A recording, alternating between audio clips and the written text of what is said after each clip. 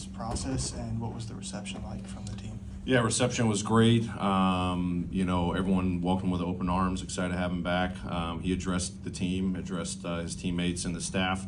Um, you know, got a play group in earlier today, you know, part of the ramp up process that we talked about. So uh, he's got that under his belt. He's going to be a part of practice tomorrow. And then, you know, obviously we're hopeful for Wednesday so long as everything medically clears out. But that's been the ramp up process, you know, on top of individual work he was doing separately. So, um, you know, good first day back and uh, excited to have him back with the team.